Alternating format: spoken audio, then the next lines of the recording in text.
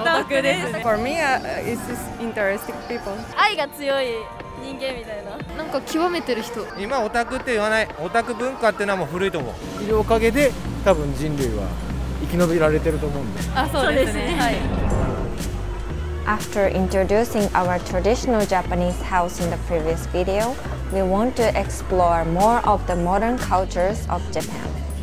Did you ever heard of the Japanese otaku culture?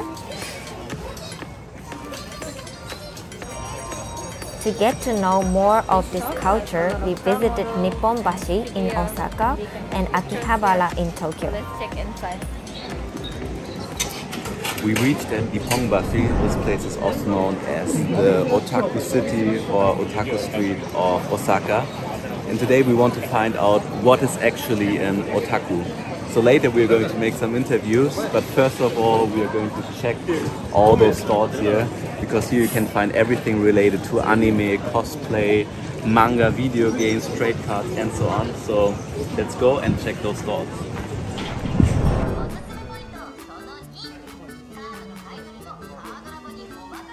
Some of you might still remember trading cards like Pokemon or Yu-Gi-Oh from school time. This stall is buying and selling trading cards in a professional style. Since we were curious to know how much money people would spend for those cards, we asked the shopkeeper to show us the most expensive card in the store.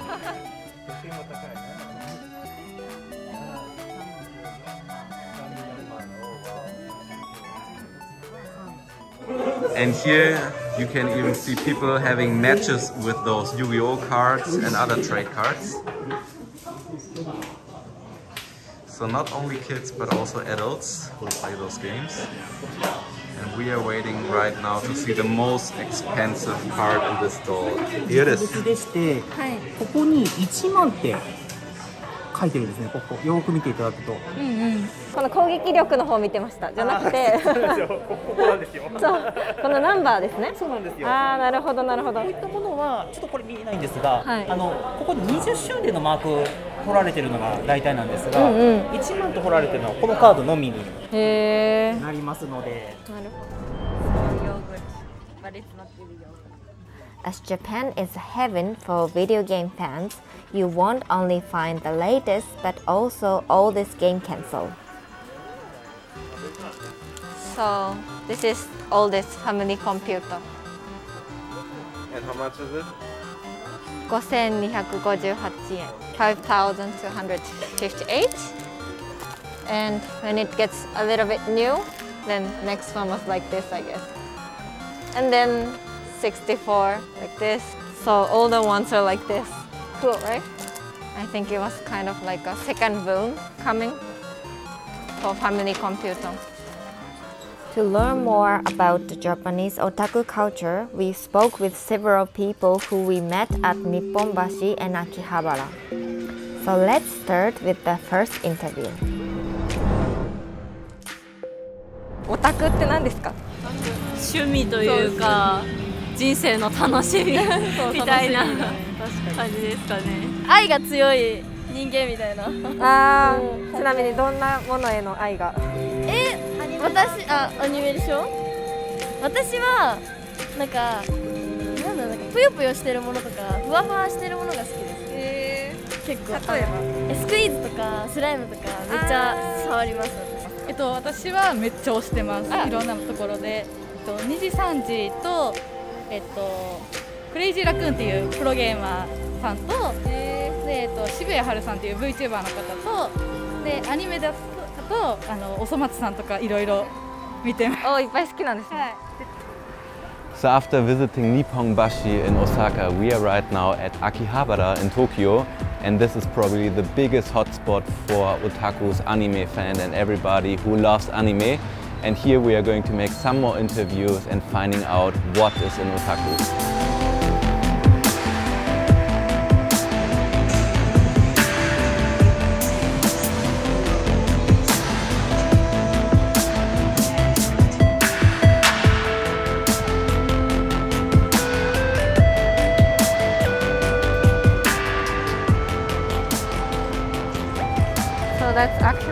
Normal drugstore called Matsumoto Kiyoshi, but they even have those character goods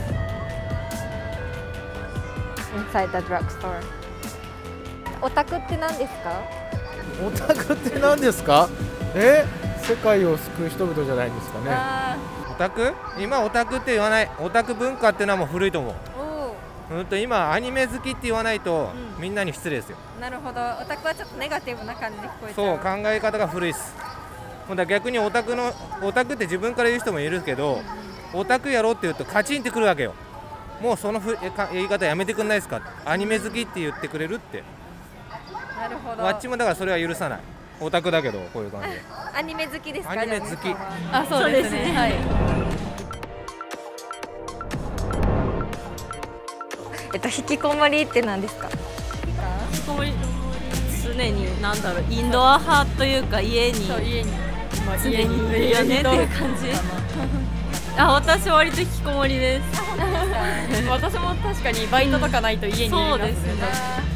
え何何してるんですかね家で？寝てるかゲームしてるかアニメ見たりしてるかみたいな引きこもりはやっぱなんだろうその今の世の中のあの社会的なあれについていけなくなっちゃった人が家の中に入ってしまってコミュニケーション取れなくなっちゃうんだと思うん。ですだから本当は取っていきたいんだけどその子自身がまたやっぱなんかほら例えば虐待にあったとかそういうので人間関係が築けなくなっちゃってるんですよ。